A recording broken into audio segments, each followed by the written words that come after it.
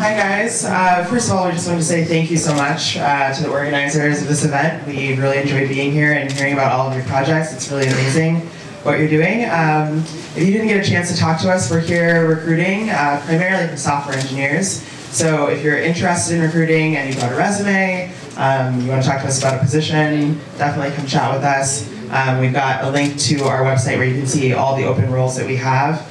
Um, also, if uh, you place in any of the categories here today, we want to send you something from SpaceX, so come find me and give me your email address. And uh, yeah, thanks again. It was really wonderful being here with you guys. Thank you very much. And then uh,